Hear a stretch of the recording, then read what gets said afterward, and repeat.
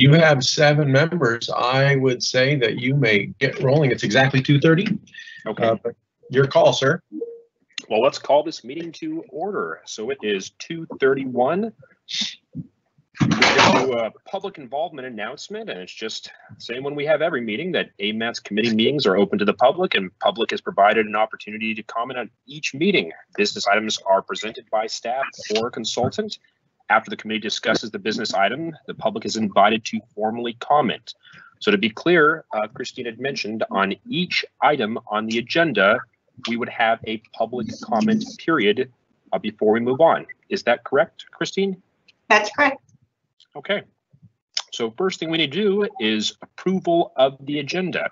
And I know there had been some correspondence that we cannot make any action items, but we could put it under uh, general information. Were there any, so they'll, did you ever send a second agenda out, Christine, or is this the original agenda that you'd sent out? This is the original one. Okay, so were there any committee members that wanted to add any items under general information? Uh, this is Jonathan Lang, yes. Uh, I'd like to uh, have a discussion about DOT's proposed regulations to allow and ATVs to operate on uh, state roads, uh, which there are uh, several of those in Anchorage that that would impact. And I think it's important that the uh, Community Advisory Committee uh, make a, a resolution either in support or against that. Are there any objections to having Jonathan's uh, discussion point under number seven, general information? Hearing none, we'll uh, discuss it under general information. Are there any other items we'd like to add to the agenda? This is SJ. Uh, I guess uh, Diana, Mike, and I have been discussing um, discussing kind of uh, a number of items related to the model and to uh, how uh, AMATS is setting priority. Um, and so, if we could add that to the discussion as well. So to make sure I understand, it's a, a priority model you would like to discuss for Uh, AMATS? yeah, priorities. I, I guess the best way to describe it is priorities and the model, uh, tra- the traffic model, the uh, decision Traffic model. Are there any objections to adding that? Okay. SJ, I think on our previous meeting, uh, there was a resolution, was there, do we need to add that under general information or is that going to be Um, discussed at a, That that'll be that'll be part of the discussion. Okay. Um, we're, we're trying to decide how we want to move forward as a as a commission. So okay. Anything else? Right. Hey, is that Debbie Rinky I see? Yep. Awesome. So with uh, hearing no items, I would entertain a motion for approval of the agenda. So move, Michael Fenster. Can I get a second? Second. SJ, Horn. That was Steve Horn, did I hear correct? Yeah. I think we had a couple of people. Yes. Okay. So we now need to approve the meetings of uh, January 26. Has uh, everyone had an opportunity to review the minutes? And are there any corrections?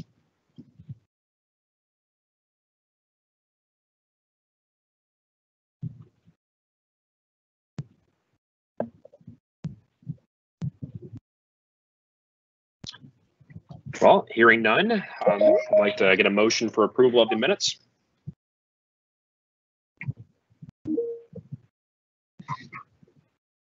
Hello, this is John Scudder. Hey, John. Hi there, I tried to get out on Teams and it wasn't working. Uh, Mr. Chair, you have Mr. Winchester moving the minutes. Yeah. Okay, well, It's up in the chat. okay, Mr. Winchester is moving them. Can I get a second? I'm sorry. Was that a second or I'm sorry? Sorry to interrupt you. No, you're fine. No, no problem. I need a second for approval of the meeting, of the uh, meeting minutes, January 26. Second, Mike Fenster. Thank you. Are there any objections of approving the January 26 minutes? Approved. Okay, on to action items. Five A. So we have elections this meeting, which go for one-year terms. And that's for chair and vice chair elections.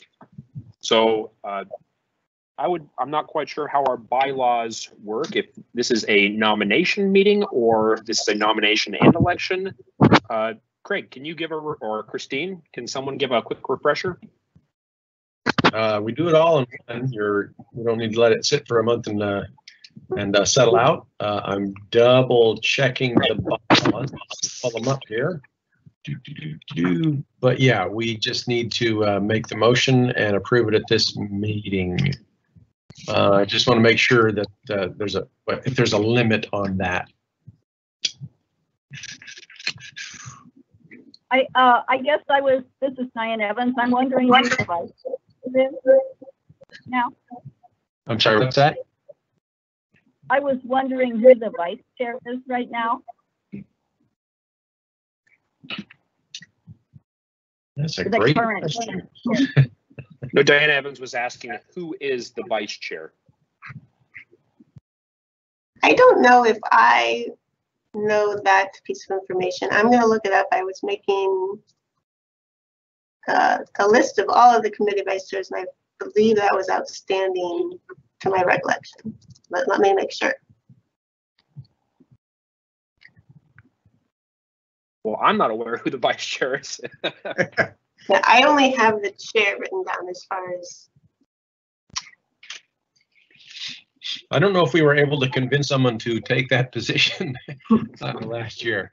I know there's not a term. It says the chair and vice chair shall be elected by majority votes cast and shall continue in office, office until the next annual meeting or until his or her successor shall have been elected. So uh, it looks like you can continue serving as chair for as long as folks will approve you if you are indeed the chair. Good to go. So I am interested in serving as the chair, but at the same time, uh, as other people have afforded me the opportunity to become chairs of different organizations, if there is uh, someone that is strongly passionate to step into the chair, you know, I would, uh, I don't object to that. I'm not trying to, not a dictatorship here. Um, so I don't know. What's the will of the body? Steve Horn speaking. Uh, Matt, you've done a wonderful job. I, I suggest that you continue. Well, I appreciate that, Steve. Cutter second. Jonathan Lang speaking. I'd like to uh, second that. I, I think you've done a great job, Matt. Thank you.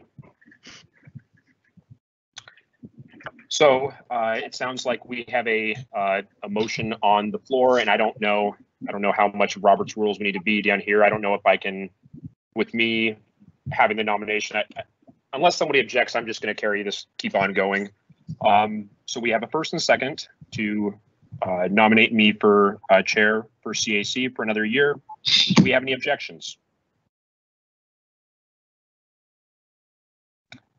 Hearing none, looks like you have me for another year. Now, uh, is there anyone that is interested in stepping into uh, vice chair?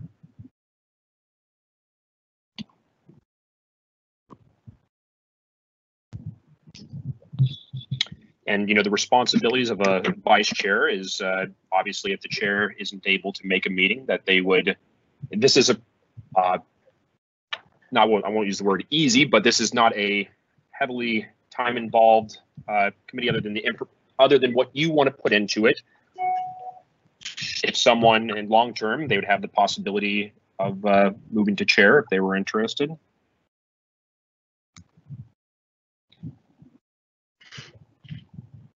I saw that there was a message chat right there, but uh, I'm using my phone and I could not see what the comment said or anything. I'm uh, monitoring it, Mr. Chair, and uh, so far you have a uh, no objection from SJ saying congratulations, and then the motion from Mr. Winchester that I mentioned. Awesome. Okay, so if we don't have any, uh, do we need a vice chair? It's nice to have in case you can't make a meeting. So who's our longest uh, serving committee member? Mr. Chairman, if I may, this is SJ. I would recommend that instead of looking at who the longest serving committee member is, maybe the one who showed up to the most meetings over the That's last a really good, yeah, that's a huge point, SJ. I really like that. But is attendance recorded? We do keep track. Okay, I don't know, we have, have it right here in front of us, but I think, uh, you're probably either Mr. Horn or Mr. Lang out of the folks that are on that was right my gut too, yeah. Uh, Yeah, this is, this is Steve, this is Steve Horn. And I would suggest I not, that I would not take that position. Um, I've been, actually, I've been on this committee now probably longer than my term allows. And, uh, I'm considering here in the next half a year, probably, uh, looking for a replacement. So, Understood. Well, that actually makes it easier because that was the two people that I was thinking about. Uh, Mr. Lang, Well- would you be interested? Uh, actually, I was uh, going to express a, a similar uh, sentiment to Mr. Horn. I, I believe he and I have served on the committee the longest and uh, may have gone uh, past our expiration date. Uh, and I'm also currently serving on another uh, municipal board, uh, which is taking up more time than this. Not that I don't love you guys, but I, I don't think it's, and, and my attendance hasn't been the best in the last year, so I don't think I'm necessarily the best choice for vice chair. I did hear Mr. Scudder just start to talk. Yes. I'm, I'm interested. Perfect. good. Well, John's been around a while. Well, I would nominate Mr. Scudder. And this is Jonathan Lang. I second that. Perfect. Any objections? Well, it looks like we have a vice chair. Thank you. So with uh, our action items completed, I'm going to move on to number six, projects and plan updates. So six A, Glenn Highway Artillery and Hiland Road PEL update. So who is speaking on this, Christine? Jay, I believe James is going to share some information. Ooh, let's hear it. Hey, James. Good afternoon, everyone. Afternoon. Uh, This is James Starzyk, the uh, AMATS coordinator for DOT and PF. Um, So at our last meeting, there was some conversation uh, regarding the Highline- Hiland southbound ramp, uh, whether or not that was uh, being developed as an HSIP project uh, or what the status of that would be. Uh, so I dug into it a bit. Uh, it's currently not a, there is no HSIP project planned for there. Um, our traffic safety section uh, doesn't consider there to be the crash data that justifies a project there. Um, but uh, they're always willing to uh, to debate it and, and discuss um, the there they they do have a nomination um, window open right now for HSIP projects. Uh, July 1st would be the submittal deadline.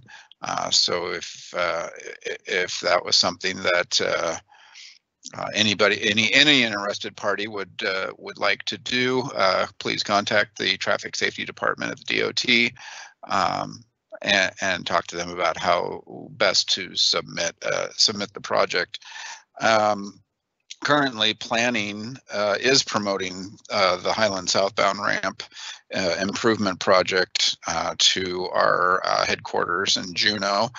Um, it's currently in the MTP.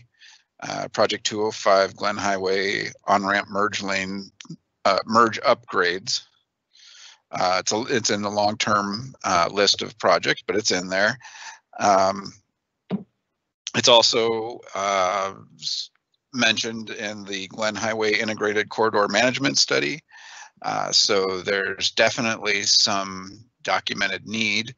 Um, and uh, my my direction from management uh, would, would has been to convey that if uh, if if the community advisory committee uh, wishes to to to help promote this project, uh, adding some sort of resolution uh, to add this project to the statewide transportation improvement pro- program uh, during the next amendment period uh, would probably be a, a- an excellent uh, step uh, that y'all could take to support the the promotion of this project by the Anchorage Field Office. And with that, I will take any questions. So I guess a point of information, uh, Craig, maybe you can, uh, remember. So about two years, I, two years ago, we passed a, I thought we did two separate motions. Um, one was for a merge lane improvements and one was for, uh, Artillery Road, for doing Artillery Road, uh, what do you call it, uh, interchange. Yeah. Didn't we support, uh, merge lane improvements that, that was encompassed in the Hiland southbound? I know that you supported the merge lane project that were listed in the, you know, what was that plan called? Integrated James- corridor management study. Yeah, exactly, that one. I know you supported that uh, and shared it with the uh, technical and policy committees. And they were Yeah. discussing the tip. Okay, um, so James, just so I can understand what, uh, to be clear, they were looking for specific, uh, support of the southbound if there was interest in it. Not, Correct. uh, okay. Yeah. I wasn't And the- advocating for it, I was just clarification. Yeah, and the current iteration of the project seems to be not a uh, a redesign or a uh, a lengthening of the southbound merge, uh, but actual uh, construction of a right turn merge similar to what you see on the westbound uh, artillery uh, southbound merge lane where you as you're driving westbound, you take a right, so you're not crossing any lanes of traffic to loop underneath the bridge uh, and, and, and gain access onto the highway. So James, uh, while you're on this subject, so I, we've been hearing a lot of uh, information about the Glenn Highway, uh, Artillery Road. I heard that on the STIP, they actually put a slot for it for design this coming year, uh, and actually construction in three or four years from now, and they've canceled the PEL. Uh, and there might be some funds coming from, which hasn't, uh, there might be some, a separate funding source coming as part of design as well. Can you speak on any of that? Uh, no, I cannot. I, uh, I'm, I'm not familiar with the, uh, with where that uh, artillery project is at at the moment. Okay. If uh, we are close to design, would, do you think on the next meeting, I know you're pretty good about following up on different things. Could you ask potentially leadership to see uh, if design is fully funded? Uh, yeah, certainly. Awesome. Um, and actually, I'm just trying to see if I can quickly answer that.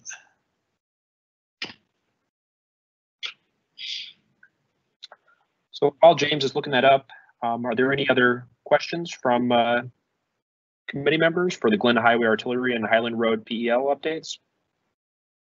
This is SJ. I am curious about uh, the PEL being canceled or the PEL process being canceled and just moving straight to divine, design phase. So um, yeah, I just wanted to reinforce the interest on the part of the commission and uh, knowing what's going on there. Agreed.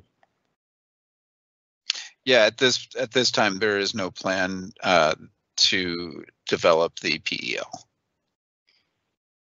Uh, that was a decision made, uh, uh, I believe, at the commissioner level.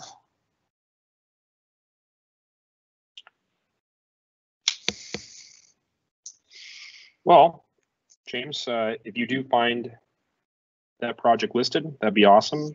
Uh, or an update next meeting, that'd be great too. But uh, Sure. otherwise, I think we'll move on to uh, 6B, and that's uh, the Anchorage Downtown Plan Step Two. This is Christine Bunnell. is Hi, be speaking on that everybody. Hi, everybody. Thank you, Mr. Chair. Um, I'm here to share with you a little bit about the update to the downtown comprehensive plan. And uh, if it's okay, I'm going to share a PowerPoint with you and we'll go through that. Go for it. hopefully very quickly. See if I can get that going. Okay, so uh, I won't be able to see you all while I'm sharing this, so just interrupt me if anybody has any comments or questions or anything like that. So uh, thank you for allowing me to present. I'm Christine Bunnell. I'm with the Planning Department in the Long Range uh, Division. And I am the project manager for the Downtown Comprehensive Plan Update. And uh, I have a team, which I'll talk about, uh, where we call uh, the, the Downtown Plan Update our Downtown Step Two, and I'll explain a little bit more about that in a minute. So we always want to uh, acknowledge the land that we're on, and it is with gratefulness and respect that the planning team wishes to acknowledge the traditional homeland of the Dena'ina Athabascans and the contributions Alaska Native peoples make to our community and society today.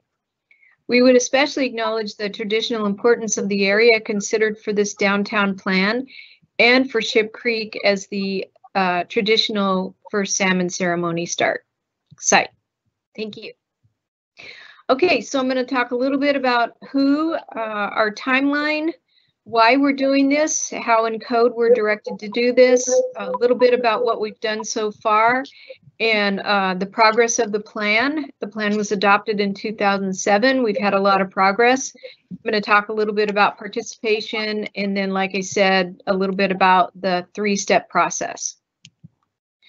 So um, our stakeholders and planning team, there's the planning team right there, Mich Michelle McNulty, Carol Wong, myself, and Tom Davis from the planning department. Huddle AK includes Holly Spoth Torres and Michelle Farabach, and then Shanna Zuspin from uh, Agnew Beck. And uh, we encourage all groups to comment and participate. You all are stakeholders. Uh, you'll help provide guidance uh, to our team in the plan process.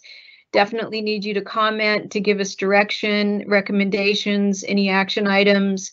And if you could reach out to your community members, friends, colleagues, let them know about the planning process. And then there is our website right there, ourdowntownanchorage.com. So uh, again, why are we doing this? It is a 10-year targeted review of the plan. Uh, which is uh, articulated by a AMC 2103070 Comprehensive Plan Amendments. The downtown plan is identified as a comprehensive plan. And so we've initiated this review of the plan with respect to uh, to make sure that the plan is consistent with the economic and demographic trends that are happening right now, any recent and proposed land use decisions, and we're supposed to factor in any adopted studies and plans. And right there you see the cover of our trends report that was published for a public kickoff meeting, which was in January. And the trends report talks about existing conditions and goes into much more in depth of what I'm going to do today. And so that is on our website, and I encourage you to take a look at that. The trends report depended a lot on uh, AEDC's 2020 three-year outlook report and then a, a, downtown residential housing study in pro forma that Agnew Beck completed for us. So uh, with respect to demographics, in 2007, there were about 1,900 people in downtown, and the plan projected that there would be almost 4,700 residents by 2025. That was based on an MTP aggressive growth model. Well, that really hasn't happened. And uh, in 2019, there was an estimate of 400, or excuse me, 895 residents. And then in 2018, 938. So we're losing residents right now in the downtown area. However, this did not factor in the new housing units that have gone in there. So that's gone up a little bit. Um, the 2025 estimate uh, would have given us uh, the of the 4,700 folks was based on a lot of downtown housing units proposed in the downtown plan, and uh, a lot of that didn't happen, but is it, but there is some happening recently, which we'll talk about. Economics um, in 2007, there they thought there were about 1,700 jobs in the downtown area. it did include 99501, so that factors in a little bit larger area than downtown. Uh, when I talked to AD, AEDC recently, how many jobs do they think could be downtown? They said maybe about 21,000. So uh, we do have um, a few more jobs, but we have lot, lost a lot because of the pandemic, as you all know about. So the trends report um, has a report out on the plans and studies and the land use actions that have been adopted or completed. And this is just a couple of different pages from the trends report. So on the left side there, you'll see contributing plans and studies. And then the land use actions are those actual assembly ordinances that have been adopted since 2007. Um, one in 2014 for the Fairview East Downtown Economic Development and Tax Abatement Zone. And then we've got our 2019 uh, how, downtown housing tax incentive. And uh, then we also um, just adopted a reformat of the downtown zoning districts, and that occurred um, uh, last year. Okay, so then the trends report goes through the action items that are in chapter eight of the downtown plan. And uh, this is again just representative pages from the trends report. Um, all kinds of different action items if you're not familiar with the plan, but on the right there, you'll see uh, under that brown heading there, street conversions and reconstructions. And uh, I'm going to talk to you a little bit about that as we get further on. The trends report also uh, reported out on a strategy framework and diagram that's in the plan. And this was a proposal for several different catalytic sites development within the downtown area. Some has been done, some hasn't. And uh, so we would appreciate your comment on um, this strategy diagram, and I'll talk a little bit about our survey, which includes questions on this portion of the existing plan. So getting back to uh, what's been done, there were 57 action items listed in the plan, 14 or about 25% are complete, 17 or about 29% received little or no action, and 27 or about 50, 46% have received action, uh, some action, and are ongoing. And uh, I'll just give you a list of what's been done um, quite a bit. We have quite a few successes, and I'm not going to read all of these out. Actually, I think, oh, here we go. That's a little bit better. So we've got, you know, some new housing, Elizabeth Place. We've got the Block 96 flats proposed. Um, we've got uh, some lots on 8th and I where they're doing brownfield evaluations where some new housing could go. We've got the downtown uh, edge. We've got Conchi Place. We've got historic buildings that have been renovated. The uh, museum has been renovated. Uh, Town Square Park Master Plan. Um, just just kind of naming a few things there, and um, I'll make this available to you guys so that you can have it too if you'd like it. So then let's move on a little bit. This is our residential market study which again is part of the trends report. It goes into a little bit of in-depth of how many housing units are actually in the downtown area. And we just did a little graphic so that folks could see where those are. And um, associated with this map then is Agnew Beck um, wanted to answer four questions with this market study. So how much housing is there in downtown? How many live there today? And again, those estimates that I gave you earlier are, uh, based a little bit on this report. Uh, what are the new housing projects? What's the scale? What type?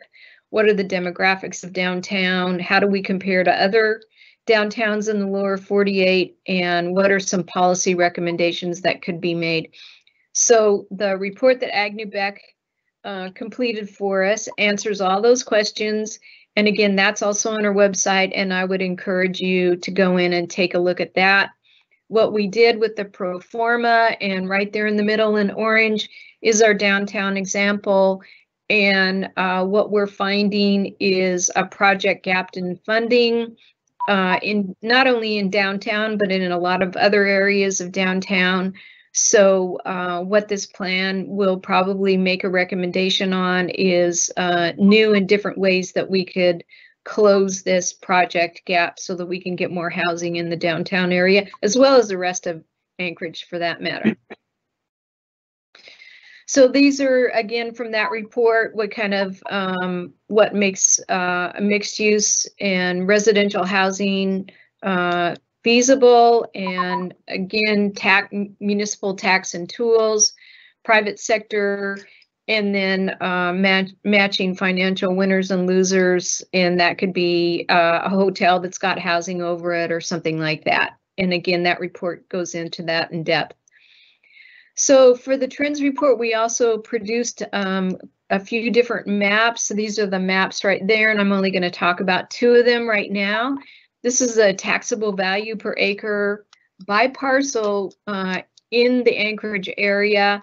And the red and the orange spikes that you see off into the distance on the left side there, that's how much taxes are are uh, brought in from the downtown area and why downtown is so valuable and why it needs to be supported so that um, I mean these taxes are spent throughout the muni. So if we have a healthy downtown economy, that's going to help the entire municipality of Anchorage. Okay, our second map is our study area boundary and uh, the 2007 plan, hopefully you guys can see this, there's a little orange dotted line there. Um, we expanded the boundary out over east to Ingra and all along 10th Avenue and then up along Ship Creek there. And uh, and that, that we extended the boundary for two things because of the Fairview neighborhood plan and also because of the 2040 land use plan we wanted to be consistent with that. So that purple that you see is uh, the city center designation from the 2040 land use plan. So this is our study area boundary. Okay, so what have we done so far? We've finalized our study area boundary map. We've updated our vision. Uh, we've talked about the 2007 uh, overarching goals, and those are going to stay the same. We've got our great project website. We've been holding one-on-one community council and subcommittee meetings. We have an online survey which ends on April 30th and over 300 people have responded so far.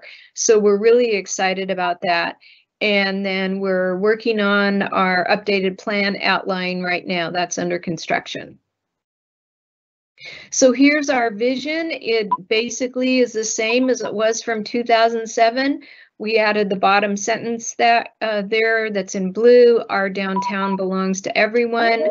And uh, uh, the vision was updated in meetings, uh, different meetings with uh, different folks.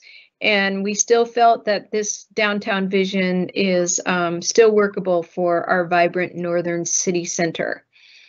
Okay, our uh, the plan update, the overarching goals. These are from 2007. Everybody said they still think that they work. Um, again, you can comment on that. We're leaving them as they are right now, but right now these are the overarching goals for this plan update. Okay, so I'm going to talk a little bit about the survey. Um, the survey is online, it's on our website, and it asks specific questions about action items that are in the plan that haven't been implemented. And it'll, um, anything that hasn't been done, we have a question in there, should we do this? Does this still work for downtown? Related to the strategy framework, we talk about the catalytic sites and we ask you, are these catalytic sites still important to the downtown planning area? If not, do you guys have ideas for where other catalytic sites are? So that gives you a little bit of flavor of what the survey is about. Okay, so I said it was a three-step process. So step one was reformatting the downtown zoning districts and we reformatted that old code to the court to the current Title 21 code format. Now, there were a few nice things that were added into the code that help um, downtown development be a little bit more affordable, but there's still more work to do. So that's why we're doing step two right now. We're doing the, the plan update. And then the plan update, we uh, may add recommendations or action items that will help in the update of the down, the final update of the downtown zoning districts, which is step three, and that will uh, occur uh, in, probably start in 2022. So um, how can you guys participate? You can register at the website. You can also take the survey, um, give us your comments, participate in the different meetings that we have, share the project with uh, anybody and everybody, staff, employees, colleagues, anyone who lives downtown. Call us or email me with questions or comments because we would love to hear from you. Invite me to a meeting. I kind of invited myself to this meeting, but if you guys have other meetings that you guys want me to attend, invite me to your meetings and uh, we we just want everybody to participate. So uh, we're in April. We're going to complete the online survey at the end of this month. Our um, engagement is going to continue. We uh, I meet uh, monthly with the Downtown Community Council, and then I've been meeting with Fairview Community Council and Government Hill. Um, in July, we hope to have the public review draft of the of the um, plan, and then we'll have some technical advisory and stakeholder meetings with that public review draft. Uh, August, um, we'll have our our next community meeting, hopefully oct October, a public hearing draft, and then November, December, working with the Planning and Zoning Commission, and then into March with the Assembly. So it's a pretty aggressive timeline, um, and um, we we felt that that's the way to move it forward because we're hearing so much about um, updates that we need to do to the code for downtown to help help uh, make downtown more affordable to develop in. So just a, a thought, we had uh, an Oklahoma City delegation come in Anchorage in uh, 2016 and they said focus on downtown first make it a great place to be and that's what we're trying to do with this plan downtown belongs to everyone and uh, we need to do things to bring people downtown so that they can live here work here and recreate here. And uh, also our visitors too. I mean people travel from all over the world to come to anchorage and see our downtown area. So with that, um, there's our website and I will quit sharing unless we want to have questions and I need to go back. So before we open this up to the public, I think somebody has double phones on right now, so they would be, uh, maybe mute their devices. Thank you. Uh, so first we'll bring it up to, uh, oh, we got a hand up open right now. Who has their hand up? Michael Fenster. Yes, Mike Fenster here. Um, a quick question uh, from the beginning of your slideshow. You showed um, the jobs in district or uh, zip code 99501. I'm wondering if the jobs in the federal building are included in that, being that the federal building has its own zip code. And if you don't know, that's okay. Oh, uh, I didn't realize the federal building had its own zip code. Yeah, it's 523, I think. I can't remember. Yeah, it's its own zip code. And it's a pretty good um, amount of parking spaces needed, not for the federal building, but also the Social Security Administration as well. Okay, SJ, I saw you had your hand up. Thank you. Great, thanks, guys. Uh, yeah, this is SJ and Christina was typing my question as well, but uh, yeah, I'll ask it in person. Um, are there specific projects identified in the Our Downtown Plan that you would like to bring to the attention of this committee? In other words, that are under the purview of AMATS? So I'm thinking of things like the Gamble Street redevelopment project, the Fairview Glenn PEL, and uh, and the potential cover uh, that may come with uh, a redirected highway. Um, you know, those are two things that I'm aware of that are on the east end of the project area. Um, can you, would you be able for this committee, uh, to just identify specific projects that are, you know, that are related to transportation, uh, especially on, um, on the state-owned highway, you know, Fifth, Sixth, uh, AC, Glenn Seward, and, uh, um, and I believe, um, the Minnesota, you know, L and K are in that project area. Uh, you're making things easy for me, SJ. So you guys saw the, the study area boundary. Uh, it goes all the way over to Ingra. Uh, so that includes the Gamble Street corridor redevelopment project. It also includes the highway to highway connection. Um, also in chapter eight of the plan, if you look and it starts on page 32 where all the street conversions and reconstructions are. And that is convert D Street to two-way traffic, convert F Street to two-way traffic, reconstruct G Street, uh, reconstruct Seventh Avenue, uh, make streetscape improvements on Sixth. Uh, yeah, convert Third Avenue to one-way westbound in a certain area, convert Fifth Avenue to two-way traffic. Um, yes, these are all items that are still in the downtown plan. And the survey specifically asks you the question, should this project still be in the plan? And then, a- and then it asks for any comments. There's also, um, there's also transit uh, system um, projects that were in there. Um, bus tour operations. You guys are also, um, I'm assuming that you're also going to be interested in wayfinding. Um, that's for further down. And um, so yes, as a as a citizen advisory group, um, you're more than welcome to take a review of chapter eight and give us as a group recommendations if you want to. The other thing that um, we've talked about internally in the planning department, it's, you know, it's interesting that they included all these street conversions and uh, different things like that in the plan and reconstructions.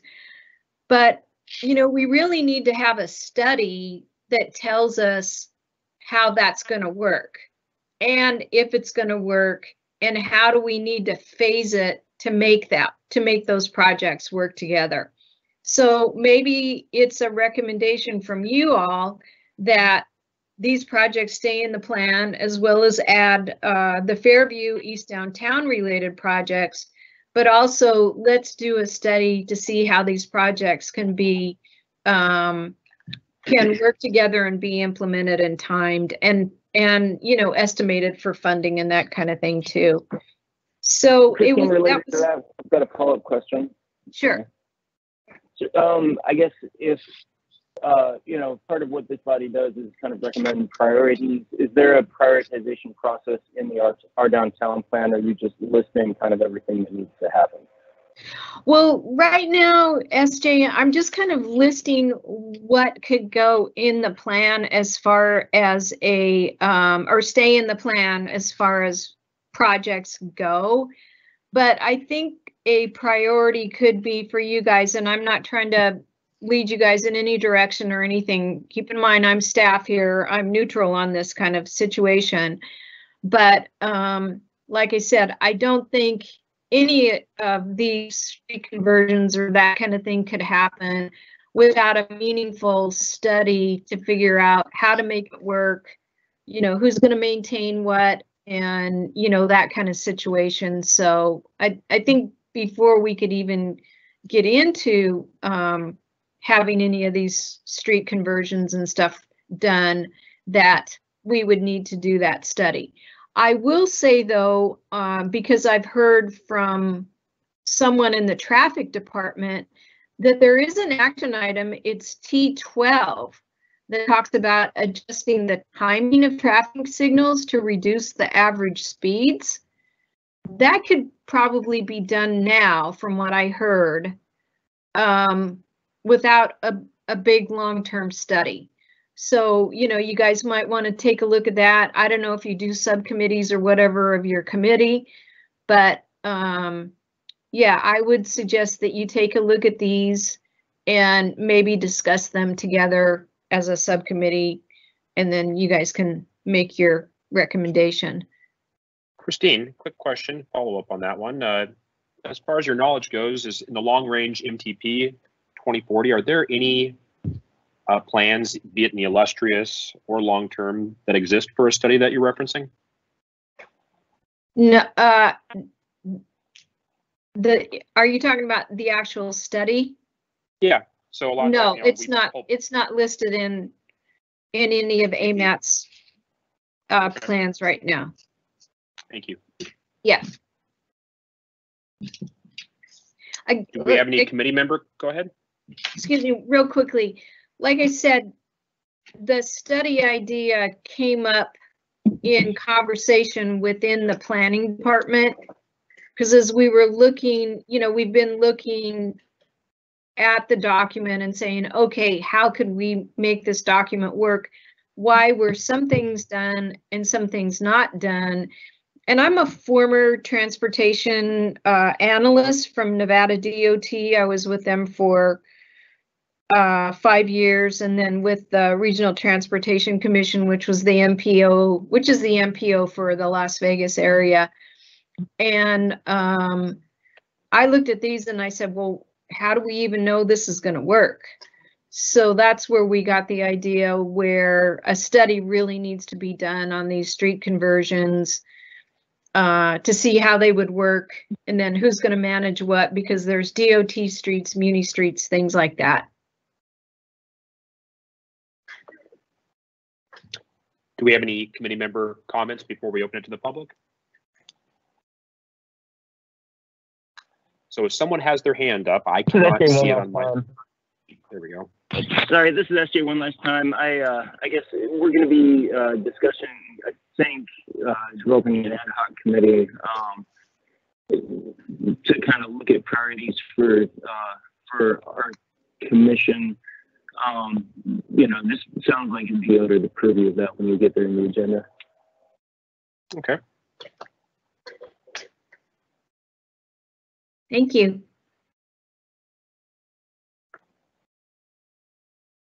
Well, hearing no other comments or seeing any hands raised, do we have any uh, comments from the public?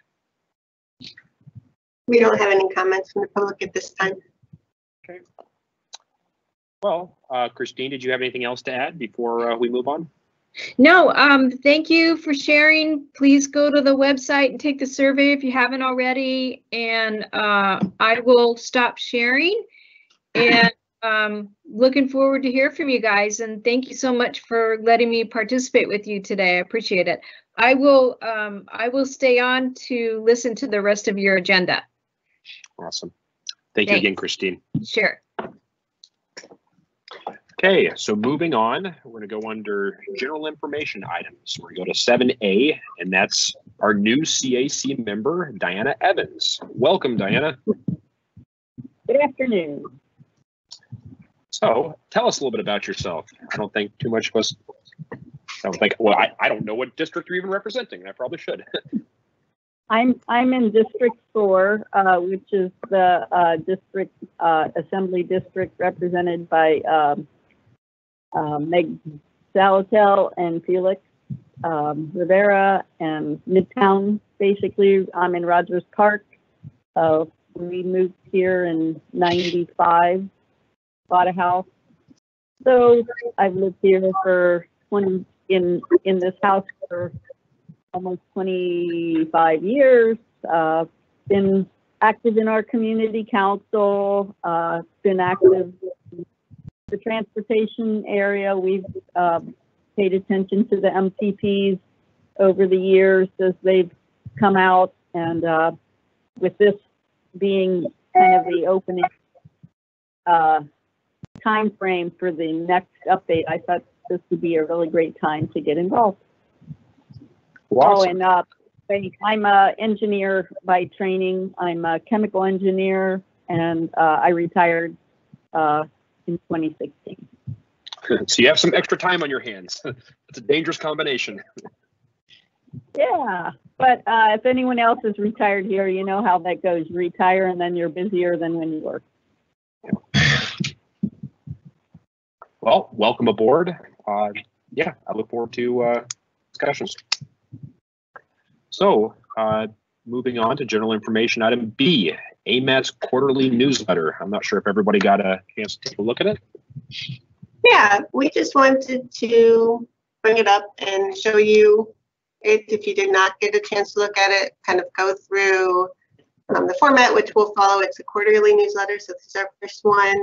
Right now, it's, um, if you're on the AMATS website, you can click the web banner at the top, it'll bring it to you. Um, someday we'll change that information to new pertinent information, so uh, moving forward, it will be, there's a newsletter just in the side, left-hand side column, you click on that, and then you can find all the newsletters. Um, so I'll just bring it up quickly and run through the format. Um, it's a storybook, so it's digital. If somebody wants a printed copy or a translated copy, we're happy to do that. Um, these are the different sections. They'll always be at the top, so that if you just want to jump to a section, you can do that. Um, first, just in this issue, so you can see what particular topics will be discussed in each of the sections. We'll always have a message from Craig, just kind of summarizing the quarter. We'll have a section for the committee, so different pertinent information that came out, any resolutions, seat changes, seats that are open. Right now, there's one on the BPAC. If you know anybody um, is part of a community environment or environmental organization, they want to serve on a committee, they can let us know. Um, and we're gonna have a spotlight. Um, we hope that committee members will participate in this moving forward. Um, this time, Aaron has agreed to be spotlighted a little bit about him and then his trusted companion Dozer. Um, community, just any different events. Joni Wilm went on a winter bike tour where they looked at facilities um, and just talked about what worked, what didn't work, the um, trials of commuting in the winter. So this is the path that they took. Um, it was to kind of introduce Donovan, who's the state, um, Alaska State Bicycle and pedestrian coordinator. He's in Juneau, so kind of to introduce him to Anchorage and some of the facilities here. Um, then there's a plans and programs section. We're gonna always kind of break those down by primary programs and secondary programs. We're talking about the 2050 MTP. Um, just to let you know, it's a long planning process. The 2040 just came out, but the RFP for the 2050 has um, already gone out and um, different submittals are being reviewed right now. Just a general timeline that will will be followed through that planning process. Um, the TIP Amendment 2, there was a public review, so just a little bit about that particular amendment and public review. And secondary programs, the non-motorized plan. Um, in February, Joni had a, an open house. So there's a couple of surveys during that open house. These are just some of the results for people that participated. Uh, she's still going through the over 800 plus comments for the plan. So continue to check back. We'll have more information on that plan moving forward. Um, remind everybody this Bernard corridor plan is released and complete, where you can find it on the website. Um, Title 21 parking. So this is a planning department project, and Tom Davis from the Long Range Planning Department met with three of our committees to discuss the project. Um, for more information, you know, it's a link to the project website and to Tom. And then there will always be a transit section um, at the end. This quarter, they wanted to hi highlight that they have fat tire bike racks on all of the buses now. They did a rider survey um, due to the pandemic to see what was working, what wasn't, what feedback people had for them. Here's a couple of the stats, but if you want to look at the entire survey, there's a link to the survey. Um, and they also released their 2020 system report card. This is an annual report card that looks at each route and looks at the various performance measures that they um, analyze. And then there's going to be a transportation 101 project or section for the newsletter. We just went with what is an MPO in this one, talked about AMATS. and how they can be set up um, differently in Fairbanks. It's a freestanding MPO and AMATS. In here in Anchorage, we are housed within the planning department. And then just to highlight upcoming meetings for the next quarter, um, committee meetings, uh, link to join the mailing list, and even if you're on it, um, you can click which notifications you would like by using this link. And then um, a survey. So after anyone's read the survey or read the newsletter, you can take our survey, let us know what you liked, what you didn't, so that we can always make make it more um, user friendly moving forward and get the right information out. So that is about it. Well, I'm sure you've had a lot of positive uh, feedback, but I just want to say this is a huge improvement. And uh, yeah, I, I think this is a nice tool that you can share to people that are interested in finding out what AMATS is doing. So I, I just want to give a, a that a boy to, I'm not sure who spent the time to create this or who's ultimately brainchild, but it, I think it was very well put together and uh, nice job. Thanks. That's, that is 100% Christine who created that. And uh, uh, we've been wanting to do a newsletter for a while. And obviously, she stepped up and made this incredible newsletter. So it's a great, great piece of work. Thank you. Yep, I think so too. It was a good job. Thanks.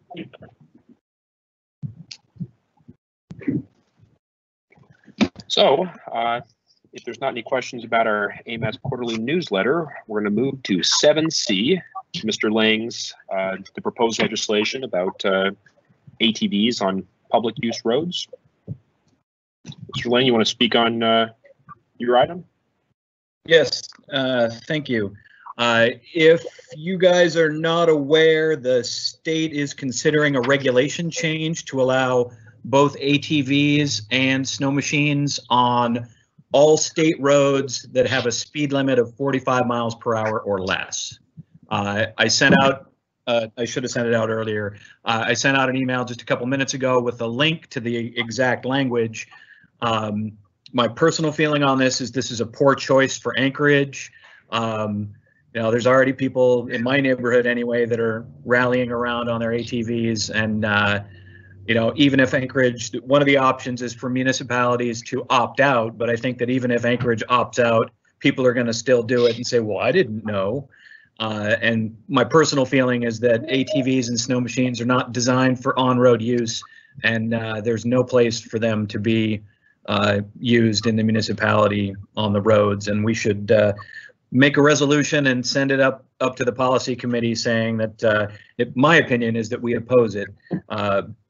And that's, that's all I've got for today.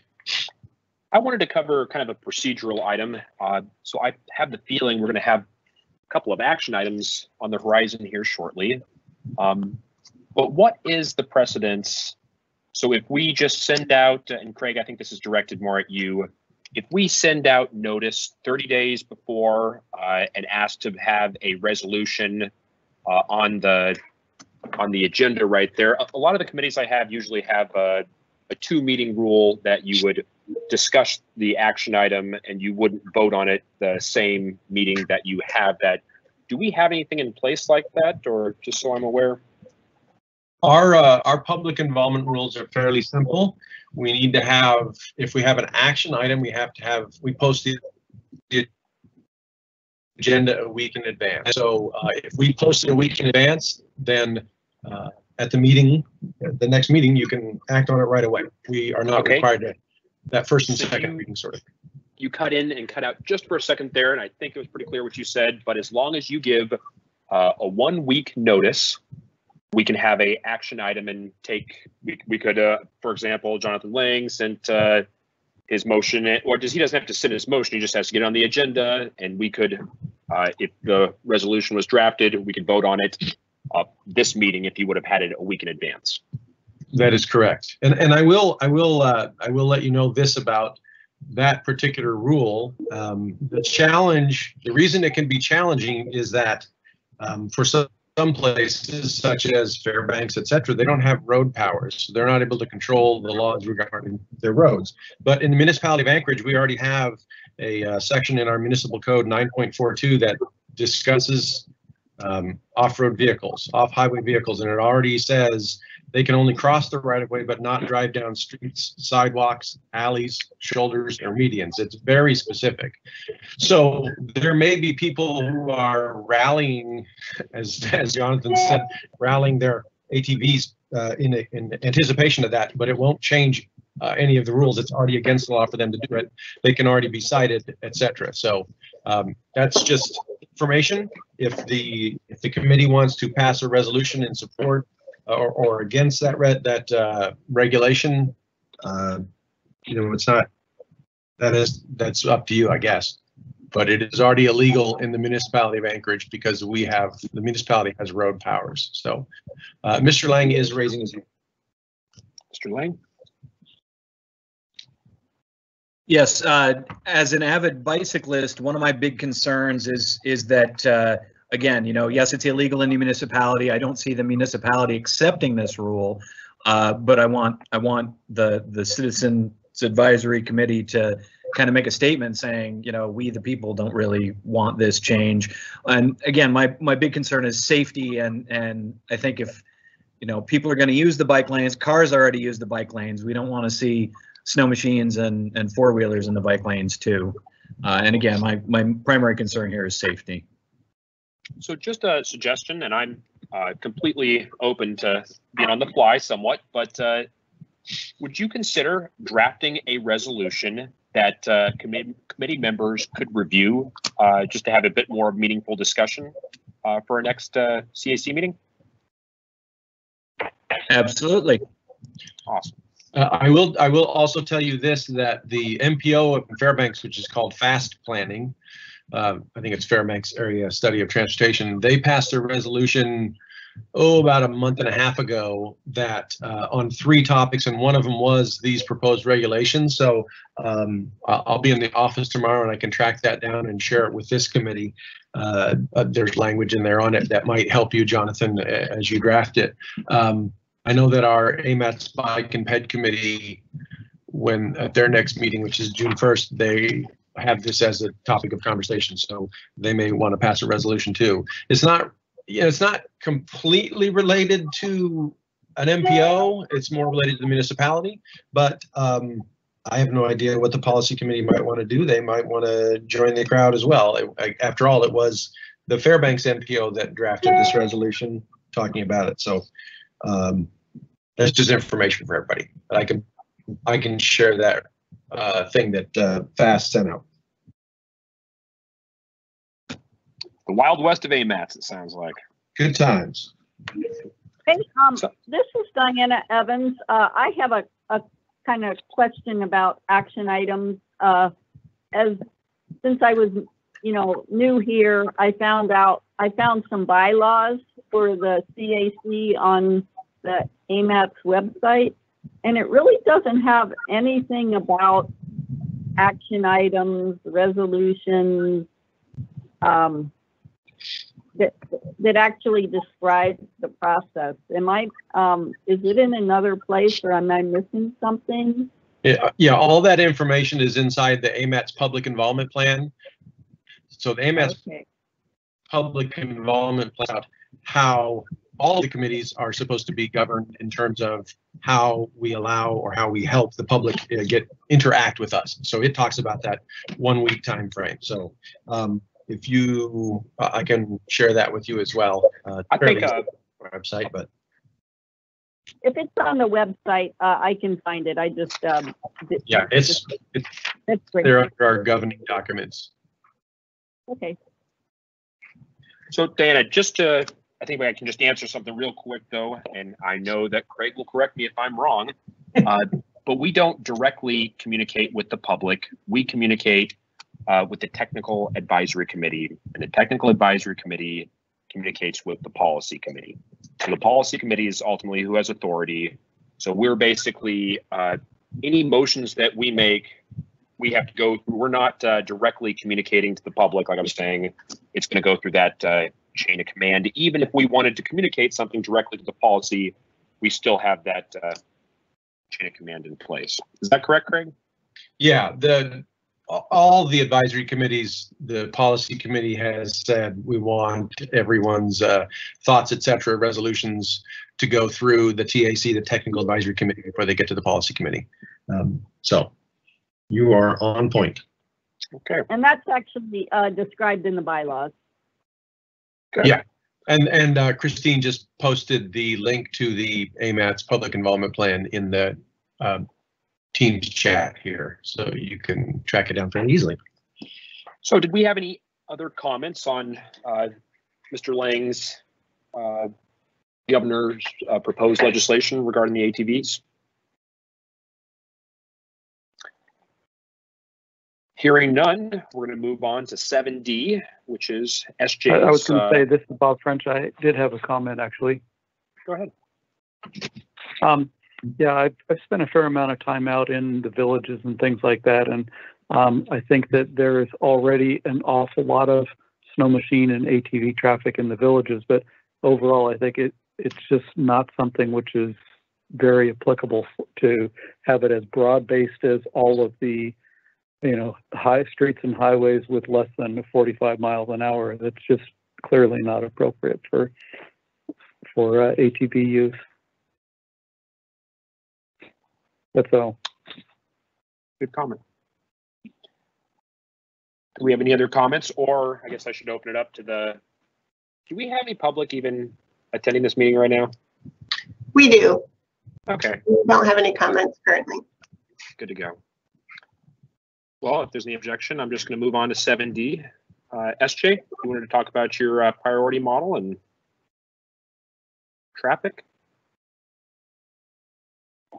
Yeah, hi, everybody. Thanks, uh, thanks, Mr. Chair. Um, I guess I, uh,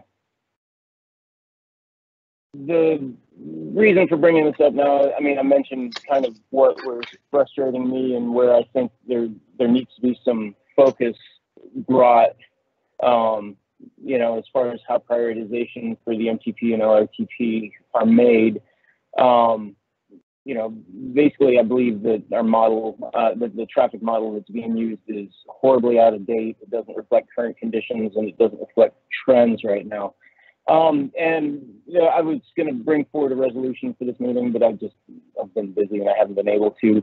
Um, started talking to Mike and to Diana about it, um, and the three of us realized that there's kind of you know the way the CAC is working right now. There's um, it seems like there's a need for a subcommittee uh, that can kind of um, look at prioritization um, and and kind of put together and prepare action items so that when we all get the um, so when we all get the the notice of the meeting, um, we have something. You know, there, there's a body that's got something prepared timely so that we can get on the agenda and actually act on it. Um, and so, you know, more than more than talking about kind of the things that I see as needs that we need to address right now, um, I kind of wanted to suggest that we create a, uh, I mean, I'd call it a prioritization subcommittee. Um, you know, especially with the MTP update coming. Um, you know, and and I believe there are a handful of items that you know could use uh, action at our next meeting. Um, you know, a, a subcommittee that's kind of steering that would just seem to make sense to me. Um, and I want to know what uh, fellow commissioners thought about that. SJ, so we formed a committee, I thought, uh, last CAC. Okay. No, no, no, I'm not uh, objecting what you're saying. I was more looking for clarification. I thought you were chairing that committee. What was the goal of that committee? Anybody got the minutes uh, on hand that could reference Yeah, what the, I'm pulling that up right now. And I apologize. My, I mean, I basically Mike and I, I believe were tasked with coming forward with the resolution that I was looking to move on. So I guess I, we were talking about it, and I guess I, uh, I might have been, I might have just thought that we didn't have, we weren't actually a committee as much as people kind of assigned to. No, I, I think we just need to clarify before, I gotcha. So we were just gonna have multiple, so your understanding is we had multiple people involved that were gonna contribute to the resolution and it was not a committee, it was people willing to contribute towards the resolution. Is that correct? Yeah, I'm just reading through the minutes right now. Yeah, I mean, part of the effort, da, da, da, I'd like to work with Mr. Fenster, which I did. Um, yeah, and then calling a special session if necessary. So, okay, I mean, that's kind of how we left it. Um, and, you know, I guess I, I apologize. I'm, you know, I'm shorthanded running a business. Uh, someday I'll be retired and be able to spend as much time as, uh, as some of you on making this stuff happen. Um, but I figured, uh, having, having a committee structure would give us a little more, you know, give a few more people power to kind of move forward with something if, uh, if we decide it's a priority. Um, So I'd make a comment of, uh, you know, the packets that we receive uh, when the CAC is uh, involved with the, oh, what do they call them, workshops. Uh, The packets are, Are you talking about work sessions or, sorry? yes. Yep. Uh, The work sessions, there's packets that when we participate in the work sessions that are extremely valuable, uh, giving the drafts uh, and maybe being able to have those packets prior to the meeting uh, would be extremely helpful that we could. Craig, did we receive those packets prior to the meetings in the past years, or were they uh, just passed around at the meeting itself? You, so our normal practice uh, is, again, to post something uh, the, a week in advance. You'll, you'll get an email with the agenda and all the links are on there. Um, and then when we had meetings in per, in, in person, then the packets would also be at the meeting. So now. That's what it was. It was dual spots. Actually, you're right. Now, that- now that you say that, I do remember because we got it a week in advance, and then yes, we had hard, large copies at the meeting. Yep. All right, and, and yeah, I guess my my issue personally is just that a week in advance when we're talking about you know a two to three hundred item and you know several hundred page document is uh you know it, it's hard to number one chew through it and then number two come up with a response to it uh in time to have an action in front of us uh you know basically the way the timing works you know we get we get we get like the MTP draft in front of us, um, and we, you know, it's by the time we get it, it's too late to come forward with an action item. So, you know, I don't know what the way around that is, but that's that's that's kind of the issue of frustration that I'm trying to I'm trying to come up with a process that makes sense for us to be able to feel like we have some purchase in the process.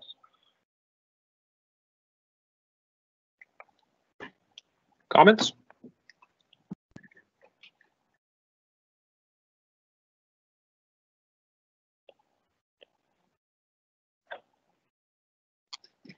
Well, um, I, I guess I'll, uh, speak up here. This is Diana. Um, I was, I listened to the, uh, your last meeting, uh, because I was interested in possibly becoming a member and I heard about that, um, um, idea that, that, um, SJ had and that kind of, since we're starting with the MTP soon, uh, it, it sounded valuable to me to, try to make some connections between the, the land use plan and the MTP and, um, then Craig's recent email, uh, asking for, um, you know, what the progress was on the resolution. He said, uh, it, something that would inform the policy committee as to the goals and objectives, because that's the first step of the MTP. So, uh, maybe that is a, um, you know, first step is, um, and I'm interested in, um, being a, an active member. I have time of either a subcommittee or work on the resolution to think about, um, goals and objectives, um, that can feed into the, the, uh, process. So just a comment is, uh, we all represent different districts and one of our most valuable things that we contribute is participation in MTP. So I, I guess I'm a little concerned with making a subcommittee uh, where I believe this committee, in its nature, you know, these are the people that we want comments for. I don't want to exclude any stakeholders out of our uh, group right here. But I would like, I like the idea of uh, having a little bit more preparation. So what about a what about a workshop with the CAC? Happy to have one. We can schedule it. Yeah, Mike, I think that's a great idea.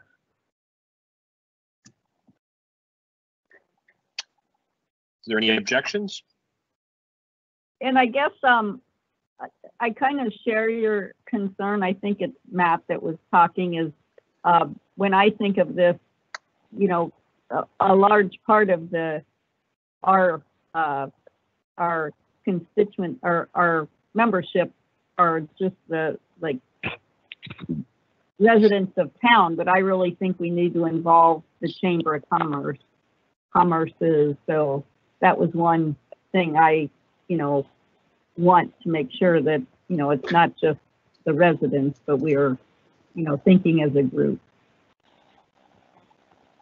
And a workshop would probably be a good way to do that as, as, uh, if they, if the, um, if everybody participates. Uh, Mike This is Bob French. I I had a, sorry, a a quick question or a comment on this. I think things like the MTP, which have a large and long lead time, um, we typically have enough time to be able to work things out and give a, a good response. I'm uh, a little more concerned about some of the items like the, um, you know, the governor's proposal to have the ATVs on the roads where, you know, there's a fairly limited time span um, for these things to come up and have a chance to be um, commented or have a resolution on. So I think we have to kind of look at the difference between, you know, some of the long-term um, responses versus a shorter-term response that the CAC would be looking to provide.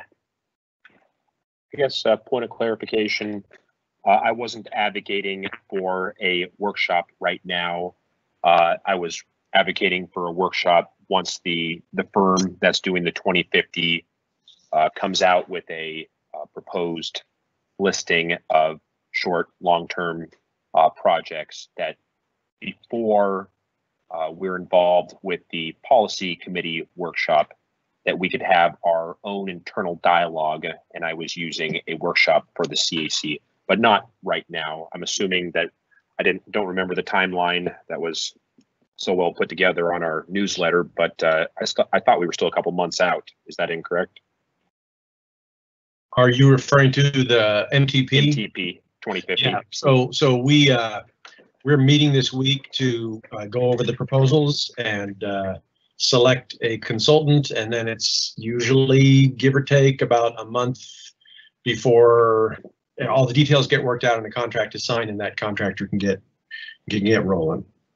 Uh, but the, the goals and objectives are the first part, the, the, the project selection is later on, like a lot later on. But we will, we will, the plan already is for the crew to, uh, just like we did last time, the project team will be working with the CAC very early on uh, in the process. Uh, not just when we get, later on, we get to the project selections, very early on, just like we did last time. Bob, I apologize if I cut you off. Did you have some more to say? No, that was pretty much it. Thanks.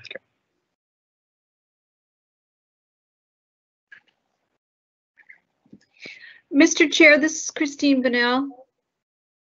Go ahead, Christine. Um, I thought earlier that SJ, um, was suggesting that you all maybe have a subcommittee meeting to discuss the projects in the downtown plan and, uh, whether you would want to make a recommendation for, uh, a study at some point as well as including a couple of other projects related to, to East Downtown and Fairview. I don't know, maybe I misunderstood that. I, I thought No, I he completely was heard that.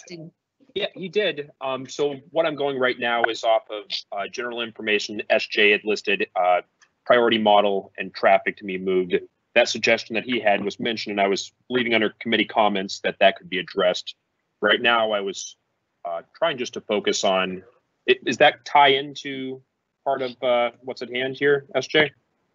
Yeah, I mean, I think it's, I, guess, depends on the structure that we come up with. I mean, if we had a standing work group or committee or whatever that met more often than quarterly, uh, you know, I mean, if we're talking about prioritization, um, you know, looking into the our downtown project makes sense to, you know, make, bring that under the purview of, of the work group. Um, but, but, Are you these know, I two mean, I- separate I think- items? I, I believe they are two separate items, so yes. I mean, I guess to, you know, to answer your question, uh, yeah, I'd consider them two separate items. So let's focus yeah, on, one, uh, one, yeah, go ahead. let's just focus on the overall, to my understanding, you were talking about MTP and you were uh, saying, let's maybe make uh, subcommittees to discuss before MTP. And uh, is that correct? The kind of summarize. Yeah, that's correct. Yeah, Okay. that's, I mean, it's obviously related just because, I mean, I think some items in other projects are going to relate to our MTP priorities. Um, but, you know, I mean, I'm, I, I agree that it's two separate items. Could you draft, so uh, this is just general information and we can't take any action right here. But if we have a action item, uh, we can discuss it and take a vote on it. Do you think you could draft something uh, that we can discuss and vote on this next meeting? Yeah, I guess Diana and, uh, and Mike have agreed to work with me, and I think between the three of us, we can come up with something, so. Perfect. Well, uh, do you have anything else, SJ, before we move on? Uh, as far as this item goes, I think that's fine. Uh, yeah, I've got two other items for later in the agenda related to. Okay, I was just gonna put it under committee comments. As soon as we get there, That's fine. kind of open it up a little bit. Great, thanks. Okay, well, if we don't have anything else under uh, general information, we're going to move to eight. uh, Committee comments and uh, SJ, you had, well, yeah, I know it doesn't really work as committee comments right there. Um, Does anyone object to uh, amending the agenda to allow for committee members to have a it- Craig, there's no, there's no reason I can't uh, open the floor to committee members for any new business, as long as we don't take action? Or does it need to be under general information? Uh, Are, are you saying, would you like to add an informational item here? Is that what we're trying to do? That's probably the best way. So I'm gonna move back up to general information. Are there any objections to adding a general information item of, uh, SJ had mentioned? Well, Are there any other members that want to add items right now? Or forever hold your peace? So we're just, uh, discussing SJ's action item of, uh, a downtown, uh, creating another committee for potentially a downtown traffic recommendations? Is that? Are there any objections to amending the agenda? Go for it, SJ. Okay, um, the Our Downtown Plan has a number of projects, as you've heard, that, uh, that correlate and, and, and relate to the work that we do on this committee. Um, and so I would like to see the, um, I guess there are two issues. One is how do they relate to, uh, the MTP and the LRTP and the TIP and the STIP? Uh, and then this, you know, the second issue is just, um, a matter of prioritization and, and how do they, how do, uh, how do the, um, how do the AMATS priorities, uh, comport with the priorities that are identified in this plan? And so, um, yeah, I would like to see a group established or a, a work group or committee established to, uh, review the Our Downtown and come up with some recommendations for AMATS as it relates to the Our Downtown plan. Comments?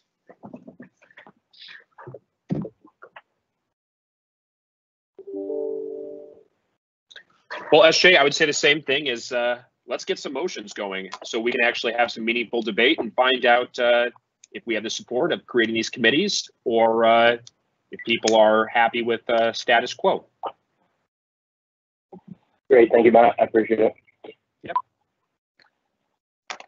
So moving on to uh, eight, committee comments. So it sounds like we technically did not create any committee. We just had members that were going to work with SJ with the writing his draft.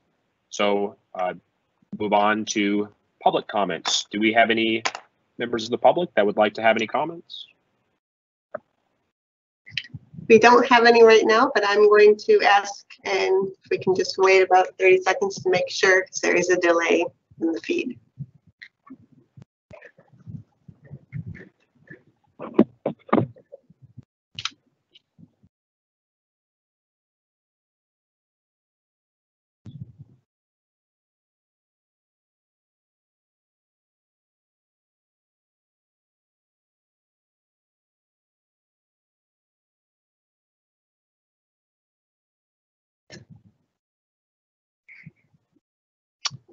Okay, doesn't sound like we have any.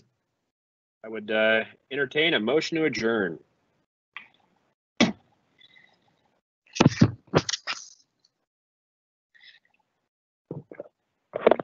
I make a motion to adjourn. You know them. Thank you, Diana. Mike Fenster, second. Okay, we are adjourned. Okay, thank you, everybody, and uh, I look forward to getting some fresh resolutions and uh, sounds like we're gonna have some good debate this next meeting. Thanks, everyone. Have a good night. Thanks, Matt. Thanks. Two. Bye.